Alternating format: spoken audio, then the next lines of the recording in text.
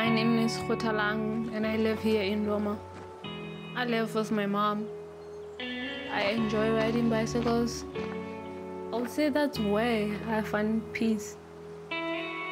Coming to the track, I always walk from home, then use the club bike because I don't really own one.